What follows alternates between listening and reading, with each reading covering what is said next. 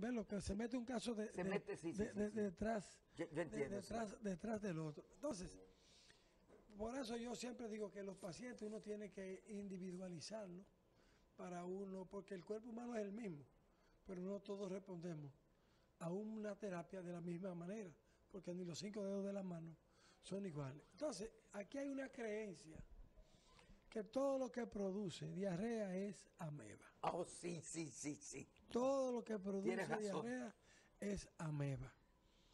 Y hay las diarreas pueden ser agudas y pueden ser crónicas. Las diarreas agudas, las diarreas agudas pueden ser infecciosas y no infecciosas. Y una diarrea aguda es aquella que dura menos de 14 días. Y una diarrea crónica es aquella que se va más de 14 días. Pero aquí hay un estudio. Bueno, aquí tenemos una llamada, doctor. Buenas tardes. Sí, Omar. Estoy aquí. Buenas. Buenas noches, ma. Sí, buenas noches. ¿Cómo tú estás, ma? Bien, bien, gracias. Un placer. Doctor. Yo quiero hacer una pregunta al doctor. Sí, sí, hágala. Eh, yo estoy, tengo los glicéridos altos y estoy en tratamiento para bajarlo. El pan y la harina me hacen daño. Claro que le Ah, hacen daño. Un veneno. Hasta yo que soy Son, médico. son de los eh, son de los productos al igual que los azúcares y esas bebidas carbonatadas y azucaradas conjuntamente con los derivados del alcohol que tienden a provocar una elevación de los Claro. triglicéridos porque al subir los niveles eh, de carbohidratos en la sangre el organismo no lo puede trabajar todo, lo reserva ¿Cuáles son los alimentos que más producen triglicéridos? lo que él habló La harina, el pan. las harinas, los azúcares y el alcohol. O los azúcares también. Claro. Oh. Tú sabes que nosotros bebemos un jugo y lo llenamos de azúcar. Oh. A veces bebemos café y no bebemos café, lo que bebemos es azúcar. Perfecto. ¿Tú me entiendes? Entonces, eso es a diferencia del colesterol, porque el colesterol lo provoca uno, lo produce uno. Ajá. Pero hay enfermedades hereditarias. Ah, pues yo pensé que el colesterol era la grasa y... Sí, el colesterol y el triglicérido son los lípidos, son las grasas que andan circulando, que andan circulando en la sangre. Correcto. Y uno debe mantener los niveles por debajo. O sea, hay un- Pero hay de que un colesterol bueno y uno malo. yo nunca he creído en eso. ¿Tú no crees? No, no. Yo lo que creo es que usted debe tener el colesterol por debajo de los límites que dicen, que dicen las reglas. Correcto, sí. Y soy de los que creo que usted debe llevar una vida activa y no sedentaria. Y no sedentaria, sí. Yo soy un firme creyente de eso. Ah, que usted tiene 250, 300, Pérez. Vamos a buscar la manera de bajarlo. No me importa si es el bueno o si es el malo. Un diputado, un diputado amigo ¿entiendes? mío un día, Entonces, me, me vi con un diputado amigo mío un día, de los diputados que hay aquí, que yo salí y tenía que verlo, entonces de, salí de aquí del programa y le llevaron unos resultados y tenía los triglicéridos en 900 y yo le dijeron, pero tú estás muerto. No, pero cuando- Dije que el médico le dijo, está- ¿tú sabes por qué tú no te moriste?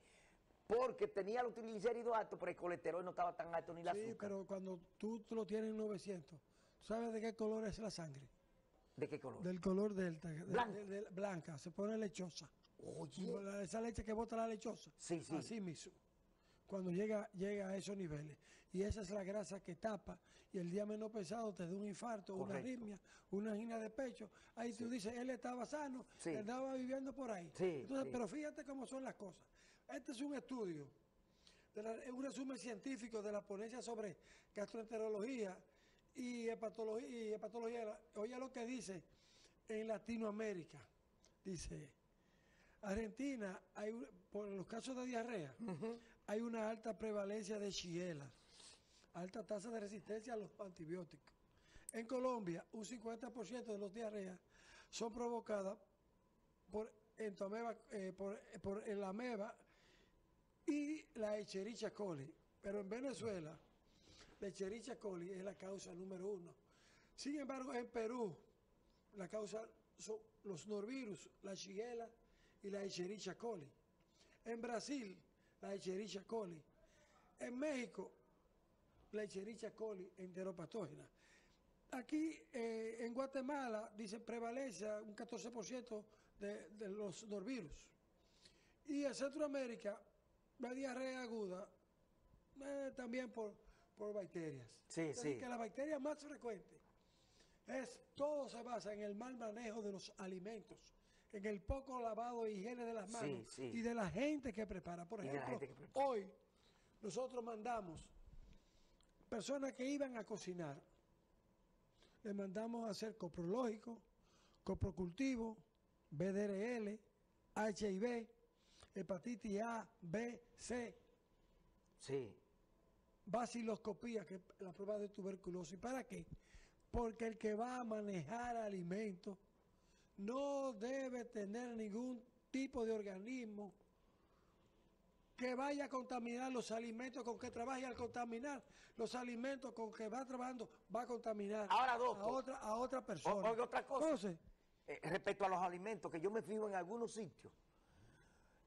Gente que preparan, por ejemplo, un sándwich o X tipo de comida y al mismo tiempo manoseando dinero. Sin guantes, eh, eh, eh, eso es un error y le pone la mano, transmiten microbios. microbios, sí. Por Porque tú siempre- poniendo la mano a dinero. Yo siempre he dicho y- que el lavado de las manos tú te evitas más de 100 enfermedades y efectos contagiosos. Entonces, ¿por qué yo hago esta salvedad? Porque la mayoría de las diarreas infeccio- no infecciosas normalmente son diarreas que te dan, tú vas muchísimas veces al baño, pero muchas veces vas sin dolor. Esa diarrea de, un- de un, de un- de un golpe, pero sin dolor y sin síntomas clínicos generales, pero una diarrea de origen infeccioso te da pujo, te da deseo de evacuar. Tú te quedas evacuachines. A veces viene con moco, a veces viene con sangre, pero a veces tú tienes fiebre, dolores cólicos. Y normalmente la mayoría de todo ese tipo de diarreas son provocadas por una Escherichia coli, por una salmonela, Correcto. por una shigella, por- la cepa de la E. coli enteropactógena y por un clostridium difícil. Y me hacía una persona una pregunta, que si es cierto que se está haciendo trasplante de materia fecal en, en pacientes, sí se está haciendo. ¿Cómo? Y, y- y- y se hace, eh, te trasplanta toda la microbiota, todos los microbios que tú tienes en el intestino. Te lo, Oye, te lo trasplantan en, el- en los intestinos. Pero normalmente donde más se utiliza eso es cuando a veces nosotros utilizamos algún antibiótico, como la clindamicina o otro tipo de antibiótico, Sí. y barremos la flora intestinal y le causamos una colitis pseudomembranosa. Entonces, en ese caso difícil, tú tienes que hacer un trasplante de la flora fecal. correctamente. Entonces, sí. fecal. Y muchas veces la gente ve en un coprológico bacterias. No, señores. Sí, buenas noches. Aló, Sí, buenas. Buena. doctor, Sí. hágame el favor de hablar del pescado. De Que pescado. tengo, a mí me dio una intoxicación. Lo que pasa que el pescado en estos países centroamericanos y del Caribe hay una, una toxina que es la ciguatoxina. Y normalmente para estos meses de noviembre, octubre, noviembre, diciembre, enero, muchos pescados se uno ingiere esa toxina y viene, viene puede venir la ciguatera. Pero a los que no se aciguatan, normalmente el mal manejo del pescado, por, la, por romper la cadena de distribución Sí, sí. del frío, De- el- del transporte, sí. Normalmente tienden a almacenar mucha shigella, salmonella, echerichia coli, vibrium parahemolítico o campylobacter. Y las manifestaciones, después de usted ingerirlo, de 7 a 14 horas después de usted ingerirlo, son dolores abdominales tipo cólico, diarrea vómitos, también. diarrea y fiebre.